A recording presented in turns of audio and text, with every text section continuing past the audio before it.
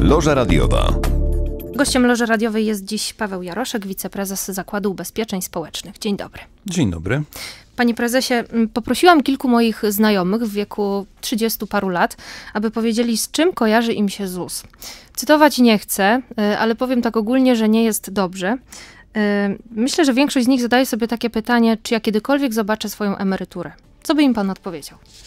No, oczywiście odpowiedziałem, że na pewno zobaczą emeryturę. E, kwestia wysokości tego świadczenia jest zależna tylko i wyłącznie od e, zapobiegliwości i przezorności e, pani kolegów.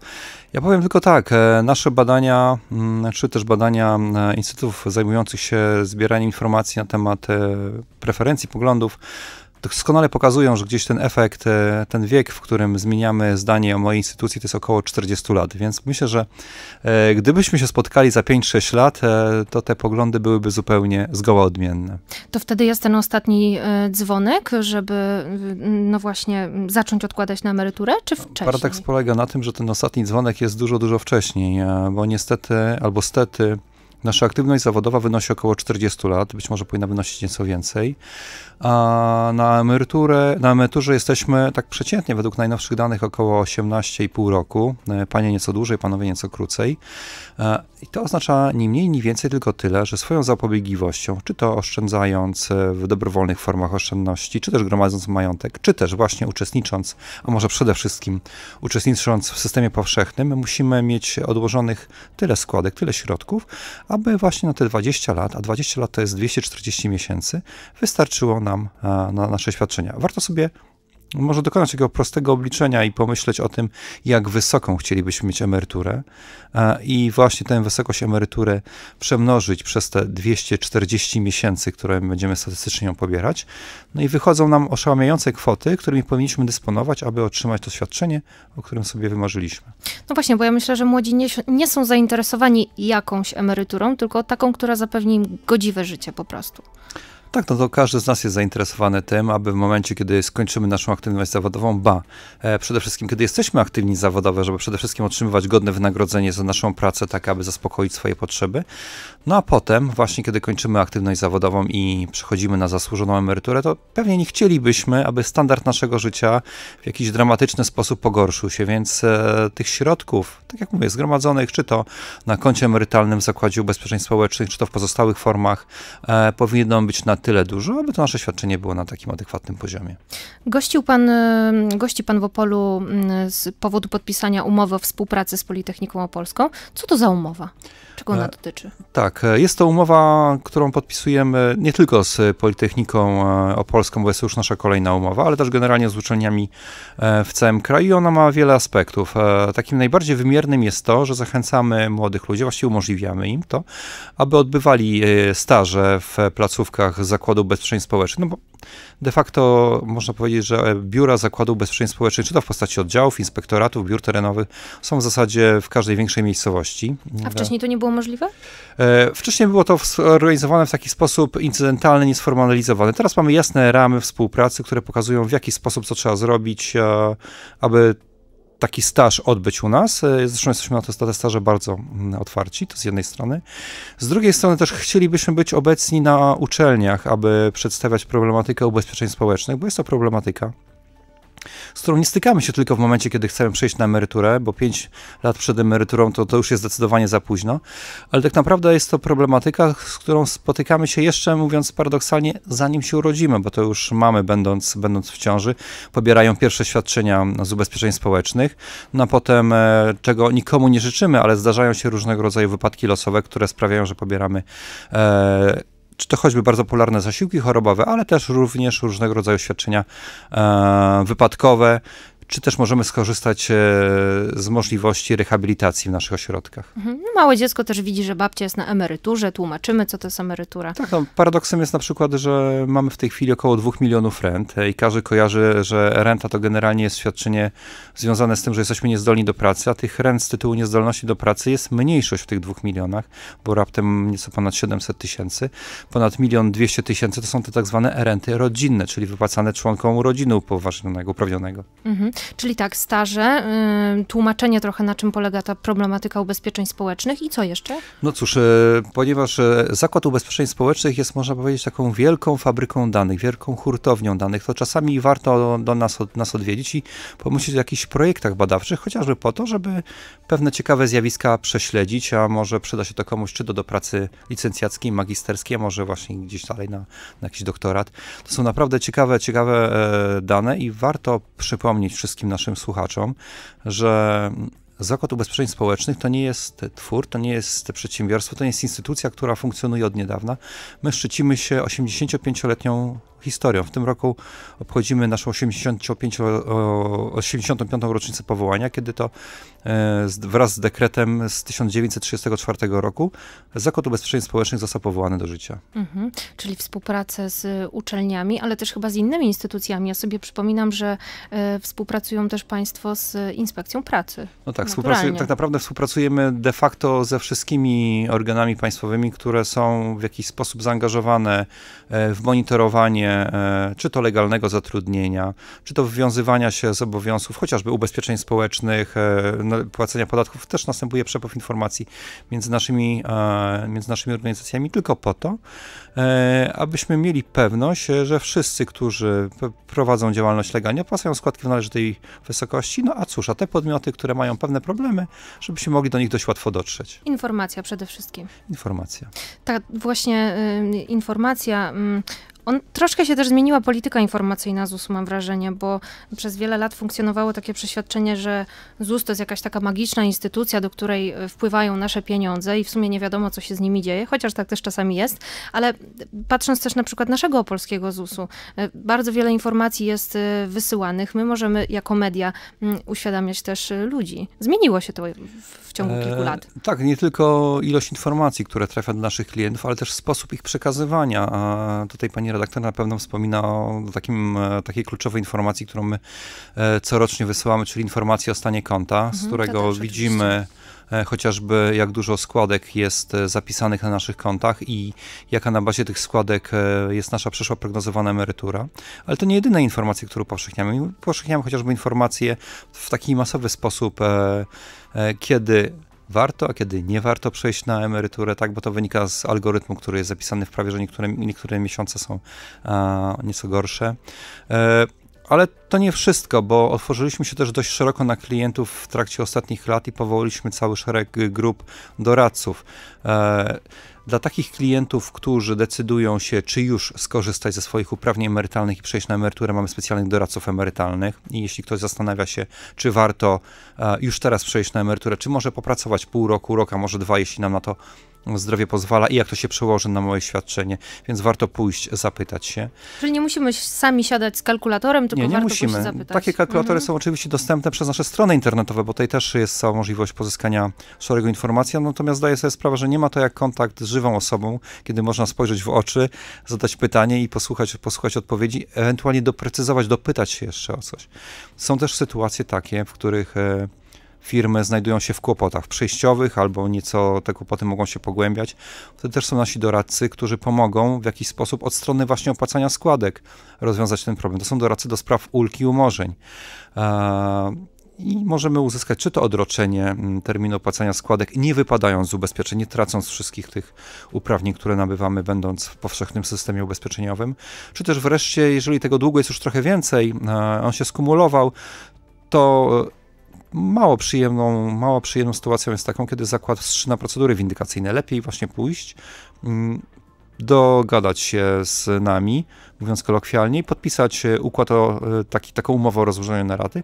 Wówczas nie ma mowy o żadnej egzekucji. Co więcej, taki przedsiębiorca, który ma z nami podpisany układ ratalny, jest traktowany tak, z punktu widzenia oczywiście e, procedur przetargowych, jak gdyby e, tego długu nie miał i może startować w przetargach. To też jest bardzo ważne, bo dostanie zaświadczenie zaświadczenie o niezaleganiu. I takich grup doradczych mamy w zależności od tego, co akurat się dzieje, czy jakieś nowe ustawy są wprowadzane, reagujemy na to i zapewniamy pełną, pełną informację naszym klientom. W każdym województwie to jest jakoś przeliczone na liczbę mieszkańców, którzy potencjalnie e, mogą skorzystać, klientów? Generalnie staramy się tak dopasowywać e, poziom naszych usług, aby mniej więcej średnio, średnio, średnie obłożenie, to może nieładnie, nieładne wyrażenie, ale średnie obłożenie na jednego doradcę było, było zbliżone i wiadomo, że jeżeli jest oddział bardzo duży, w dużym mieście, tych doradców będzie więcej. Jeżeli jest to placówka zlokalizowana w jakimś mniejszym mieście, no to tych, tych wiadomo doradców będzie mniej, ale zawsze to będzie w proporcji do liczby klientów, których obsługują. Mhm. Przypominam, że naszym gościem jest Paweł Jaroszek, wiceprezes Zakładu Ubezpieczeń Społecznych. Mm, jak kształtuje się przyszłość ZUS-u? W jaki sposób y, Państwo zastanawiają się nad tym, aby cały czas była płynność? Och, to tak naprawdę rozumiemy, e, możemy porozmawiać Szereg o dwóch, czynników dwóch, dwóch, dwóch, dwóch, tematach, tak, bo pa, pani redaktor spytała o przyszłość ZUS-u. Jak słyszę pytanie o przyszłość ZUS-u, to patrzę pod kątem e, tego, jak będzie wyglądała instytucja, jak będzie się de facto zmieniała, dostosowała do nowych uwarunkowań. Jeżeli pani pyta o płynność, o przepływy finansowe, to tak naprawdę mówimy o płynności funduszu ubezpieczeń społecznych mhm. w, większości, w większości przypadków, czyli tego funduszu, do którego wpłacane są składki na ubezpieczenia społeczne i z którego wypłacane są świadczenia. Tym funduszem oczywiście zarządza zakład. Gdybym się miał skupić na samym zakładzie ubezpieczeń społecznych, czyli podmiocie, który zarządza tymże funduszem, a mówiąc językiem ustawy o finansach publicznych, jest dysponentem tegoż funduszu, no to cóż, to na pewno będziemy mówili o wprowadzaniu coraz to nowych usług, tak, aby nasi klienci e, jak najmniej czasu, jak najmniej mitręgi e, poświęcali na to, aby załatwić swoje sprawy stricte urzędowe. No i takimi przykładami, chociażby z ostatnich lat, jest to wdrożenie składki, składki. gdzie w zdecydowany sposób uprościliśmy opłacanie składek, i też wyeliminowaliśmy, co pewnie jeszcze bardziej ważne, liczbę popełnianych błędów przez płatników. W tej chwili błędy są na, na poziomie w zasadzie niemierzalnym, marginalnym. E, to jest projekt elektronicznych zwolnień lekarskich. Od 1 grudnia 2018 roku to w zasadzie jest jedyna forma dopuszczalna w kontaktach z Zakładem Ubezpieczeń Społecznych. No cóż, z punktu widzenia naszych klientów, przede wszystkim pacjentów, którzy są chorzy, w momencie, kiedy człowiek idzie do lekarza, to kiedyś musiał pamiętać, u kogo pracuje, bo nierzadko zdarzało się, że e, nasi, nasi klienci ubezpieczeni pracowali w kilku podmiotach, no i dla tych wszystkich podmiotów trzeba było to zwolnienie papierowe wypisać. Co więcej, e, dostarczyć w ciągu 7 dni pod rygorem utraty albo obniżenia tego zasiłku chorobowego. Teraz w zasadzie pacjent, jeśli trafi do lekarza, lekarz wystawia zwolnienie lekarskie, może iść spokojnie wykupić leki i leczyć się. E, wszystkie te papiery w postaci już elektronicznej trafiają i do pracodawców, i do zakładu ubezpieczeń społecznych. To, co zdarzyło się 1 stycznia tego roku, to jest wdrożenie projektu e, elektronizacji akt pracowniczych, czyli tzw. Tak e-akt. Nie wiem, czy Państwo wiecie, ale jeszcze do końca ubiegłego roku wszyscy pracodawcy, czy to prywatni, czy to publiczni, byli zobligowani do przechowywania dokumentacji pracowniczej przez lat 50. 50 lat to był najdłuższy okres w Europie. W tej chwili sporo się zmieniło i dla wszystkich nowo zatrudnionych po 1 stycznia 2019 roku ten czas skrócił się do lat 10. Jest oczywiście okres przejściowy między 1999 a 2018, kiedy można złożyć takie oświadczenie i wówczas i wówczas dokumenty będą przechowywane przez lat 10. E, zostaje jeszcze kwestia tych starych dokumentów sprzed 1999 roku, kiedy niestety trzeba jeszcze utrzymać ten 50-letni okres. To, co się dzieje w tej chwili, to udostępniliśmy na naszym portalu możliwość samodzielnego uzyskiwania określonych zaświadczeń. Będzie ich coraz więcej. Na przyszłość, co cóż, coraz większa automatyzacja, cyfryzacja, cyfryzacja i wychodzenie z nowymi usługami do, do naszych klientów, tak aby, aby wszystkie, wszystkie aspekty kontaktu z urzędem mogły być jak najmniej dolegliwe, wręcz załatwiały się w tle. To jest kwestia ZUS-u. Mhm. A jeśli byśmy spojrzeli na Fundusz Ubezpieczeń Społecznych, to warto, warto wspomnieć tylko tyle, że on tak naprawdę składa się z czterech subfunduszy, a tak naprawdę ubezpieczeń społecznych. Tam mówimy o ubezpieczeniu emerytalnym, rentowym, chorobowym i wypadkowym. No i e, różnie wygląda sytuacja poszczególnych funduszy. Mm, niektóre są zbilansowane, inne, inne wykazują silne, silne deficyty. Natomiast to, co pokazują nasze prognozy demograficzne, e, demograficzne i aktuarialne, bo tak naprawdę demografia jest bazą, na tej bazie stosuje się prognozy aktuarialne które nakładają pewne zjawiska gospodarcze na zjawiska demograficzne. I na tej podstawie e, można ocenić, że w dłuższej perspektywie w dłuższej perspektywie Fundusz Ubezpieczeń Społecznych będzie w jeszcze lepszej sytuacji niż jest obecnie. Teraz można powiedzieć, że jest w dobrej sytuacji. Może nie bardzo doskonałej, ale naprawdę na tle ostatnich lat bardzo dobrej sytuacji. Na tyle dobrej, że mm, możemy sobie pozwolić na rezygnację z dotacji z budżetu państwa. To w kolejnych latach ta sytuacja, począwszy mniej więcej od roku 2025, no bo to jest ten taki krytyczny okres, będzie się istotnie, istotnie poprawiała i w dającej się prognozować perspektywie de facto e, fundusz będzie w pełni zbilansowany. Mhm. To ile pieniędzy wpływa, a ile wypływa, tak już mówiąc kolokwialnie z FUS-u? E, no cóż, Jaki to jest procent Powiem tak, e, wypłynąć nie może więcej niż wpływa, bo powstawała luka. To oczywiście luka musi być, musi być łatana, ona jest e, zapełniana w postaci dotacji mm, z budżetu państwa. E, dość powiedzieć, że na przyszły rok e, zaplanowane wypłaty z tytułu świadczeń wyniosą, uwaga, bo to duża kwota, ponad 250 miliardów złotych. 250 miliardów złotych. To są niewyobrażalne pieniądze. Ogromne pieniądze, nie e, potrafię sobie wyobrazić. Na, taka, na taką też kwotę musi, by, musi zostać znalezione finansowanie w głównie w większości ze składek opłacanych przez, e, przez wszystkich pracujących, no i pracodawców oczywiście. Jeśli chodzi o taki parametr, który obrazuje nam e, stopień pokrycia wydatków funduszu wpływającymi składkami, to on na przestrzeni ostatnich lat e, kształtował się różnie. W mhm. takich bardzo słabych czasach był na poziomie 60 kilku procent, czyli można powiedzieć, że 60 kilka procent wydatków było pokrywanych składkami. Na koniec e, roku ubiegłego przekroczył poziom 81%, to bardzo wysoki wskaźnik. No i wygląda, że w tym roku będzie na podobnym poziomie jak w zeszłym roku. No to do przodu, pokrywamy.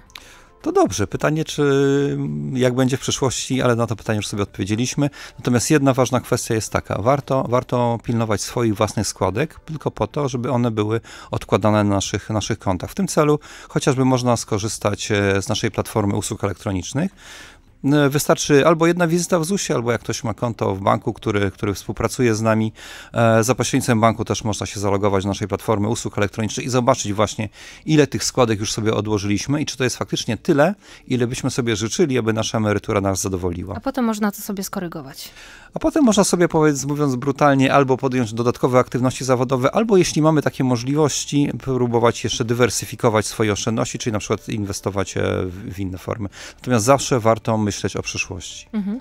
Przed nami trzecia i ostatnia część rozmowy z naszym gościem, Paweł Jaroszek, wiceprezes ZUS-u. Mm, panie prezesie, nowe wyzwania na rynku pracy to też wyzwania dla Was, dla ZUS-u. Robotyzacja na przykład przychodzi mi do głowy. Tak, e, to jest wyzwanie, z którym zmierzymy się i tu w kilku, w kilku aspektach. Może nawet szybciej niż sądzimy. Może nawet szybciej niż sądzimy, ja powiem, e, to wręcz e, dzieje się na naszych oczach, bo z jednej strony mówimy o pracodawcy, mówią o kłopotach ze znalezieniem pracowników, tak? Więc pewnie pracodawcy będą, ci, których na to stać i ci, którzy pracują w takich branżach, gdzie jest to możliwe, będą powoli przestawiali się na E, zautomatyzowane mm, formy świadczenia pracy, w zasadzie wykonywania, wykonywania swoich usług, tak żeby to dobro rzadkie, jakim jest człowiek, wykorzystać w inny sposób. Pytanie jest, jak daleko posunie się e, ta tendencja i czy nie okaże się za lat kilka, że część zawodów e, zostanie wyeliminowana z rynku, z rynku pracy i trzeba będzie, trzeba będzie znaleźć e, sobie miejsce, każdy sam, a też pewnie przy wsparciu państwa na, ty, na, tym, na tym rynku.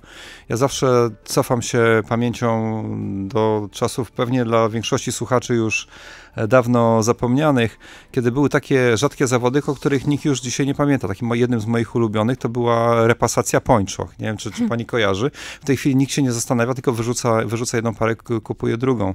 Takim też, też zawodem, usługą w zasadzie było nabijanie długopisów. Nikomu do głowy dzisiaj by nie przyszło, żeby nabijać długopis kulkowy, bo to kosztuje, e, kosztuje grosze w markecie. Ale też pojawiły się nowe e, zawody.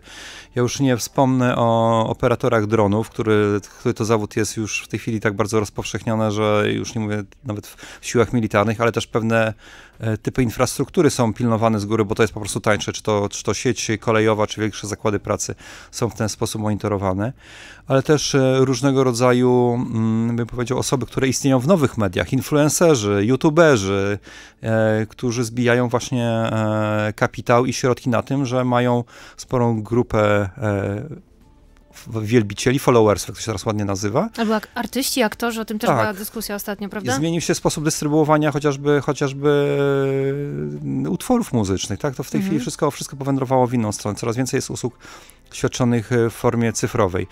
Pojawią się pewnie za chwilę nowe zawody. Z jednej strony takie, które, które będą wymagały zaangażowania w wysoką technologię i wysokiej wiedzy. Tutaj e, umiejętności zdobywane na uczelniach e, związanych z, e, z umiejętnościami politechnicznymi będą bardzo cenne. Ale też z drugiej strony mm, to, gdzie ja widzę przyszłość niektórych zawodów, to to, że my jako ludzie potrzebujemy tak naprawdę kontaktów ze sobą.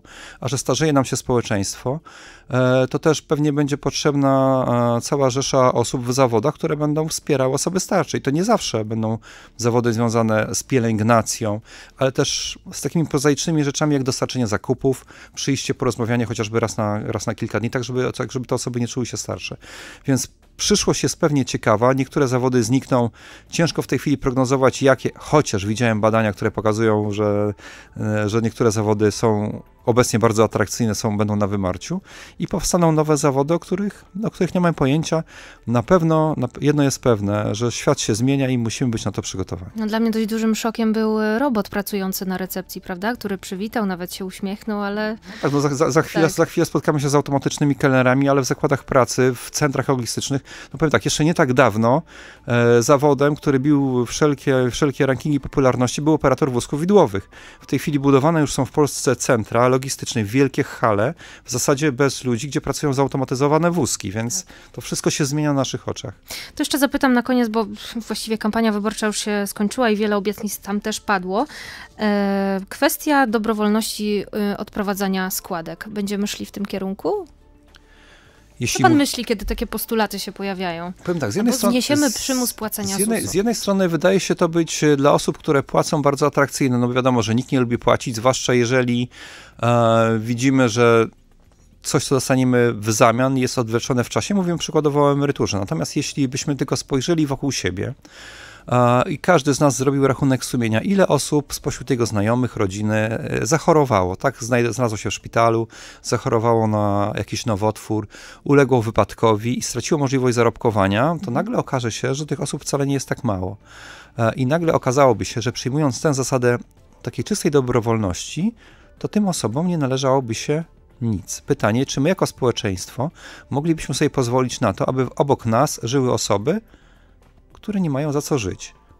No pewnie nie, pewnie musielibyśmy im zapewnić jakąś opiekę, co oznaczałoby tylko tyle, że te osoby w, nie, w pewien sposób, e, nie kontrybując do systemu, i tak na samym końcu otrzymałyby jakieś wsparcie systemu. Więc najlepszym rozwiązaniem, wydaje się chyba jedynym w tej chwili niepozbawionym VAT, ale najlepszym, to tak jak z demokracją, jest system, w którym ten ciężar składkowania jest rozłożony na, jest rozłożony na wszystkich i wtedy dzięki temu on może być być może nie wszyscy, niektórych z Państwa to zdziwi, ale relatywnie tani. A co z takim poglądem, który mówi o tym, że ten państwowy system ubezpieczeń emerytalny i tak dalej oducza odpowiedzialności? Mm, takie poglądy też są dość tak, popularne. Tak, on właśnie nie odusza odpowiedzialności, tylko niestety ta edukacja jest dość długa i może być bolesna, bo jeśli w tej chwili mówimy o przypadkach, kiedy mamy do czynienia z bardzo niskimi emeryturami, czasami wręcz e, przysłowiowo groszowymi emeryturami, to właśnie jest produkt tego systemu. Tylko my musimy o tym pamiętać. Jeśli mało do systemu kontrybuowaliśmy, to mało też z niego otrzymamy. Taka jest zasada sprawiedliwości, tak? Mhm. najniższa emerytura, w tej chwili ona została już podwyższona, bo okazało się, że, że, że pani, która z niej korzystała, e, była mamą wychowującą czworo dzieci, więc skorzystała ze świadczenia Mama 4+. A to była emerytura na poziomie dwóch groszy, gdzie w ciągu de facto każdy z nas przeciętnie będzie się wykazywał mniej lub dłuższym okresem, ale powiedzmy około 40-letnim okresem aktywności zawodowej. Ta pani wykazała tylko jeden dzień, za który odprowadziła składki. No i od tego jednego dnia odprowadzonych składek została naliczona emerytura od tychże niewielkich składek. O tym, musimy, o, o tym musimy pamiętać, że nasze decyzje, nasze składki dość wpływają na naszą emeryturę. Jeśli będzie ich mało, co widać na naszym koncie, nie liczmy na wysoką emeryturę, ale jeśli sumiennie przepracowaliśmy na umowach chociażby o pracy albo na umowach zlecenia, o których odprowadzaliśmy składki, wówczas i też system państwowy odpłaci nam tymiż składkami na, na, na, w czasie naszej starości. I tutaj postawimy kropkę. Bardzo dziękuję. Paweł Jaroszek, wiceprezes ZUS, był moim gościem. Bardzo dziękuję, do usłyszenia. Loża radiowa.